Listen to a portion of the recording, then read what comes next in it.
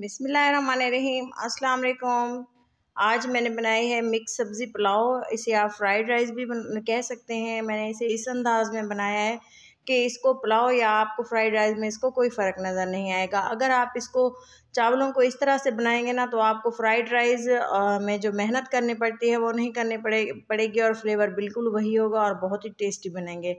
इसके लिए मैंने हाफ़ कप ऑयल ले ली है और चावल थे मेरे, एक गिलास मिक्स सब्ज़ियाँ ली हैं। सबसे पहले मैं ऑयल को अच्छे से गर्म होने दूँगी और इसके बाद एक चम्मच कुटा हुआ लहसन, अदरक बिल्कुल नहीं डालनी। लहसन का चॉप किया हुआ मैंने एक चम्मच डाला है और इसके बाद ये है वन टीस्पून ज़ीरा, क्योंकि चावल हमारे कम थे क्वांटिटी के मुताबिक, इसलिए स्पाइसेस इतने ही डाल रही हूँ। उसके बाद ज़ीरा तड़काने के बाद हमने इसमें मटर डाल दी हैं। हाफ़ कप मटर थे और ये हैं गाजरें। एक बड़े साइज़ की गाजर थी, इस तरह से इसको चॉप कर लिए है और अच्छी सी इसकी हमने पहले भुनाई कर लेनी है ज़ीरा और लहसुन में। तो चलें जी, अच्छी सी खुशबू आना स्टार्ट होगी और ये है बॉयल किया हुआ चिकन एक प्याली, आप जितने चावल बना रहे हो उसके मुताबिक डालेंगे। थोड़े से बड़े बड़े पीस रखे हैं चिकन के ताकि पकाने में थोड़े से मैश हो जाते हैं। अच्छे से इसको पका लेना है, भून लेना है, अच्छी से खुशबू आने तक। शिमला मिर्चें एक बड़े साइज़ की थी, वो मैंने चॉप कर लिया और ये है बंद गोभी। थोड़ी थोड़ी बचा ली हैं, ये लास्ट में गार्निशिंग के लिए ऐड करूँगी और इसके बाद ये है हरी मिर्चें। बहुत ही ज़्यादा स्पाइसी हैं, ये इसलिए तीन से चार बड़ी काट के डाली हैं और ये है काली मिर्चों का पाउडर एक चम्मच फ्रेश कूट के डाली हैं। इसलिए ये थोड़ी दर दरी कुटी हुई हैं। अच्छे से इसको भून लेंगे। इसको इतना भूनना है, मैं आपको टाइम बता दूँ, तकरीबन दो मिनट तक इसी घी में, इसी मसालों के साथ इसको भूनना है, ताकि अच्छी सी खुशबू आए और सब्ज़ियाँ भी अच्छे से गल जाएँ। ये देखें जी। इस तरह से हाई फ्लेम पे इसको सब्ज़ियों को भूनना है लो फ्लेम नहीं करने, इससे जो है इनका टेस्ट ख़त्म हो जाता है। एक बड़ा चम्मच भर के हमने नमक का डाला है इसमें, और इसके साथ ही हम इसको चलाते हुए पकाएँगे। पकाना है आप देख रहे हैं वीडियो बिल्कुल भी मैंने कोई भी पार्ट स्किप नहीं किया आपके साथ ही शेयर कर रही हूँ आप भी इसको कंप्लीट देखें और इस तरह से मज़ेदार सा सब्ज़ी पुलाव आप बनाएँ घर पे।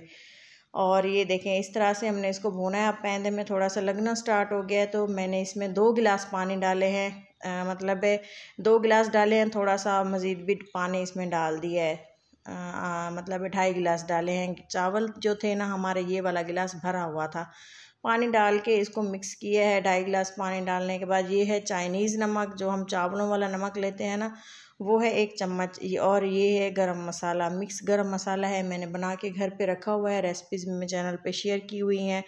आप जाके चेक कर लीजिएगा, ये देखें थोड़ा सा सब्ज़ धनिया डाल के अच्छे से इसको मिक्स कर दिया है, इसमें कोई भी और स्पाइस नहीं डाले।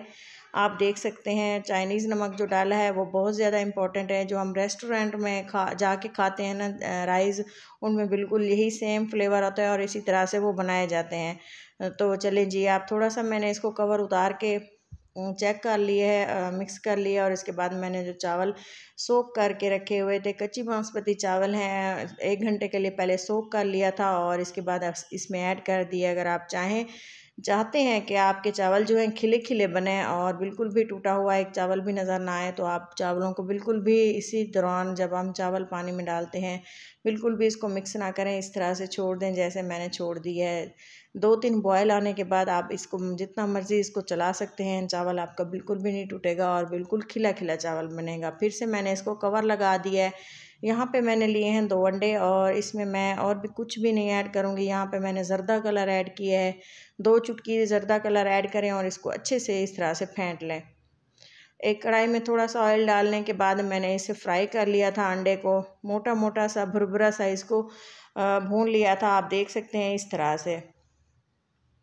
फ्राइड राइस बनाना सबको झंझट लगता है, लेकिन इसको मैंने बहुत ही ज़्यादा इजी और आसान तरीके से आपको बनाना सिखा दिया है। उम्मीद है आपको ज़रूर पसंद आया होगा तरीका। आप अगर आप वीडियो पर नए हैं तो चैनल को ज़रूर सब्सक्राइब करते जाएँ और वीडियो अच्छी लगे तो ज़रूर लाइक भी करते रहें। अपनों के साथ शेयर करें ताकि मेरी वीडियो ज़्यादा से ज़्यादा लोगों तक पहुँच सके और ये देखें, इस तरह से हमने अंडे को भून, पका लिया है। भून लेने के बाद इसको फ्राई कर लेना है अच्छे से और इसके बाद हम चावलों को देखते हैं। चावलों में पानी थोड़ा सा रह चुका है और इसको मज़ीद हमने पानी को ड्राई कर लेना है और अगर आप चाहें तो इसको इस स्टेज पे मिक्स कर लें। थोड़ा सा थोड़ा सा मिक्स करना है हल्के से एक दफ़ा और इसके बाद हमने मज़ीद जो बाकी इसमें अंडे वगैरह हैं और इसमें मैंने थोड़ा सा जो है जर्दा कलर का भी इस्तेमाल करना है। ये देखें इस तरह से बिल्कुल थोड़ा सा बहुत ही अच्छा सा कलर और फ्लेवर लेके आता है और आप देख सकते हैं ये जो हम, हमने अंडे फ्राई किए हैं वो इसमें डाल दिए हैं। और ये देखें, इसके बाद जो हमने सब्ज़ी थोड़ी सी डाली थी, वो मैं डालना भूल गई, दोबारा से इसको हमने उतार के जो है इसमें सब्ज़ियाँ वगैरह ऐड कर दी हैं। इससे तमाम सब्ज़ियाँ पक्की हुई भी हैं फ्राई भी हो गई हैं और इस तरह से राइस भी अच्छे से बन गए हैं। आप भी इस तरह से बनाएँ, बाकी कोई मसाले इसमें मैंने ऐड नहीं किए। इसका फ्लेवर इतना टेस्टी और ज़बरदस्त था कि घर वालों ने दोबारा बनाने की फरमाइश की है। आप भी इसको घर में ज़रूर बनाएँ, सर्दियाँ आने वाली हैं और बहुत ही इसका फ्लेवर, ये देखें, बिल्कुल भी चावलों में पानी और ऑयल बिल्कुल भी नहीं है और ये इस तरह से फ़ील हो रहे हैं जिस तरह से हम रेस्टोरेंट में फ़्राइड राइस खाते हैं। तो चलें जी, इसको एक प्लेट में डिश आउट करते हैं और फाइनल लुक की तरफ़ चलते हैं। उम्मीद है आपको मेरी रेसिपीज़ पसंद आती होंगी। इस तरह से खिला खिला राइस हमारा बिल्कुल ही मज़ेदार से फ्राइड राइस रेस्टोरेंट की तरह बने हैं, जिसे हम वहाँ जाके खाते हैं। तो आप भी इसको घर में ज़रूर बनाएँ।